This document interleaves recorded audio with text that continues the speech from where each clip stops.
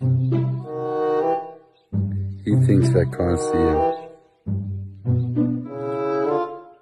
Don't even try that.